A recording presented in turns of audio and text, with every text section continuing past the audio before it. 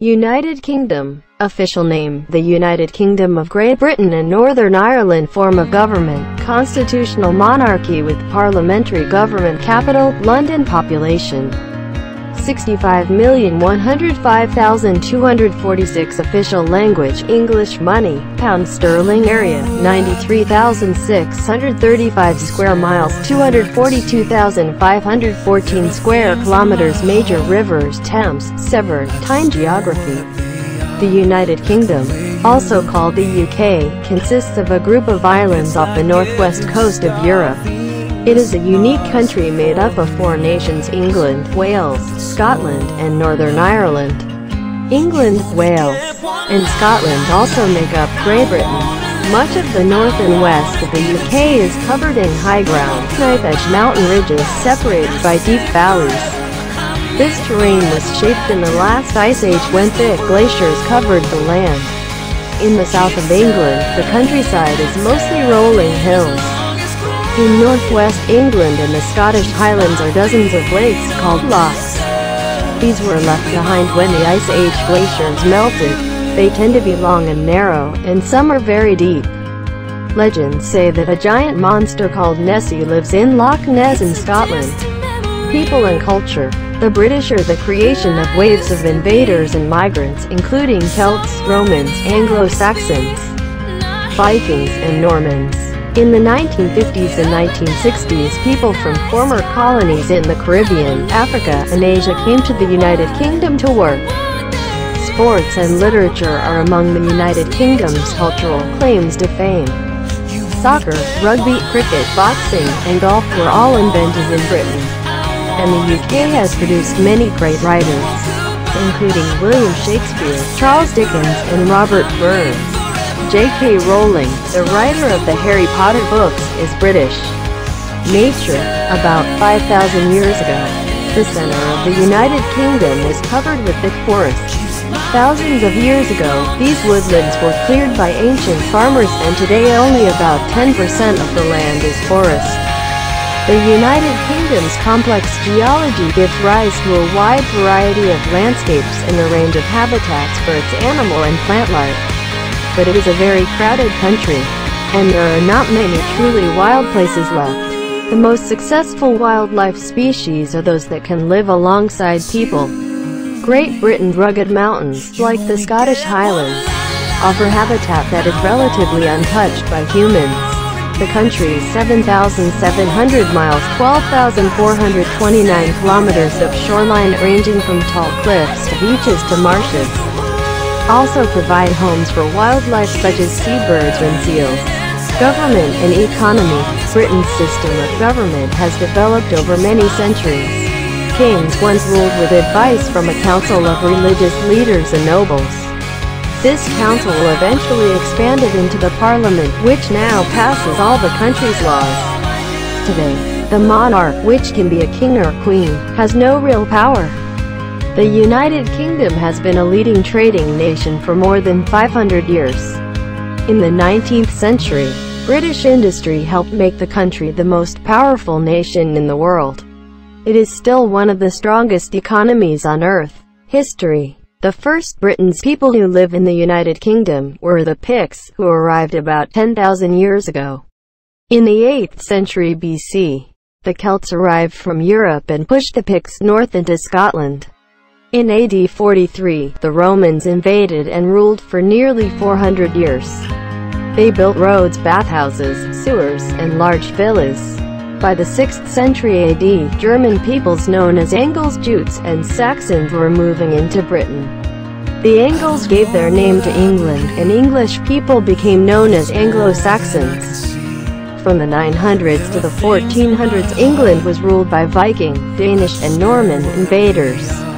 In 1485 the Welsh noble Henry Tudor claimed the English crown and became Henry VII, the first of five Tudor monarchs. Several important lines of kings and queens followed. By the 1800s Britain was one of the most powerful nations in the world. Trade generated immense wealth, and the country built a huge overseas empire. But the early 20th century was a time of setbacks for Britain. Drained by World War I and II, Britain could no longer afford its empire, and most of its colonies became independent. Vương quốc Anh tên chính thức Vương quốc Liên hiệp Anh và Bắc Ireland hình thức chính phủ quân chủ lập hiến với chính phủ nghị viện vốn London dân số 65 triệu 105.246 ngôn ngữ chính thức tiếng Anh tiền tệ, bằng Anh khu vực 93.635 dặm vuông, 242.514 km vuông, các sông chính, thêm, Seven, tai môn địa lý, Vương quốc Anh còn được gọi là Vương quốc Anh bao gồm một nhóm các hòn đảo ngoài khơi bờ biển phía tây bắc của châu Âu. Đây là một quốc gia độc đáo được tạo thành từ bốn quốc gia Anh, xứ Wales, Scotland và Bắc Ireland, Anh. Wales và Scotland cũng tạo thành Vương quốc Anh, phần lớn phía Bắc và phía Tây của Vương quốc Anh được bao phủ bởi vùng đất cao, các dạng núi hình lưỡi dao bị ngăn cách bởi các thung lũng sâu. Địa hình này được định hình vào kỳ băng hà cuối cùng, khi các sông băng dày bao phủ khắp đất liền, ở miền Nam nước Anh, vùng nông thôn chủ yếu là đồi núi chập trùng. Ở Tây Bắc nước Anh và cao nguyên Scotland có hàng chục hồ, được gọi là hồ, những thứ này đã bị bỏ lại khi các sông băng của kỳ băng hà tan chảy, chúng có xu hướng dài và hẹp và một số rất sâu.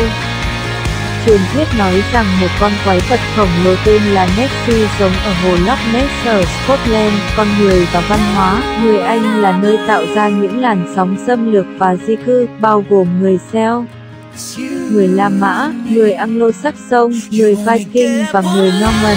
Trong những năm 1950 và 1960, những người từ các thuộc địa cũ ở Caribe, châu Phi và châu Á đến Vương quốc Anh để làm việc. Thể thao và văn học là một trong những tuyên bố nổi tiếng về văn hóa của Vương quốc Anh. Bóng đá, bóng bầu dục, cricket, đấm bốc và gôn đều được phát minh ra ở Anh và Vương quốc Anh đã sản sinh ra nhiều nhà văn vĩ đại, bao gồm William Shakespeare, Charles Dickens và Robert Burns. J.K. Rowling, tác giả của bộ sách Harry Potter, là người Anh thiên nhiên. Khoảng 5.000 năm trước, trung tâm của Vương quốc Anh được bao phủ bởi những khu rừng rậm. Hàng ngàn năm trước, những khu rừng này đã bị khai phá bởi những người nông dân cổ đại và ngày nay chỉ còn khoảng 10% diện tích đất là rừng. Địa chất phức tạp của Vương quốc Anh đã tạo ra nhiều cảnh quan và một loạt các môi trường sống cho đời sống động thực vật của Vương quốc Anh. Nhưng đó là một đất nước rất đông đúc, và không còn nhiều nơi thực sự hoang dã, những loài động vật hoang dã thành công nhất là những loài có thể sống bên cạnh con người. Những ngọn núi hiểm trở của Vương quốc Anh, như cao nguyên Scotland, có môi trường sống tương đối hoang sơ do con người tác động của đất nước 7.700 dặm 12.429 km của bờ biển. Từ những vách đá cao tới bãi biển để đầm lầy cũng cung cấp nhà cho động vật hoang dã như chim biển và hải cẩu. Chính phủ và kinh tế, hệ thống chính quyền của Anh đã phát triển trong nhiều thế kỷ, các vị vua từng cai trị với lời khuyên từ một hội đồng gồm các nhà lãnh đạo tôn giáo và quý tộc. Hội đồng này cuối cùng đã mở rộng thành nghị viện, hiện đã thông qua tất cả các luật của đất nước. Ngày nay, quốc vương có thể là vua hoặc hoàng hậu, không có thực quyền. Vương quốc Anh đã là một quốc gia thương mại hàng đầu trong hơn 500 năm, vào thế kỷ 19 nền công nghiệp của Anh đã giúp nước này trở thành quốc gia hùng mạnh nhất trên thế giới, nó vẫn là một trong những nền kinh tế mạnh nhất trên trái đất lịch sử. Những người Anh đầu tiên, những người sống ở Vương quốc Anh là người thích đến khoảng 10.000 năm trước vào thế kỷ thứ 8 trước công nguyên người Celt đến từ châu Âu và đẩy người Tích lên từ Bắc vào Scotland. Vào năm 43 sau công nguyên, người La Mã đã xâm lược và cai trị gần 400 năm. Họ xây dựng đường xá, nhà tắm, cống rãnh và các biệt thự lớn. Vào thế kỷ thứ 6 sau công nguyên, các dân tộc Đức được gọi là Anglo, Chuốc và Saxon đã di chuyển đến Anh. Người Anglo đã đặt tên của họ cho Anh, và người Anh được gọi là Anglo-Saxon.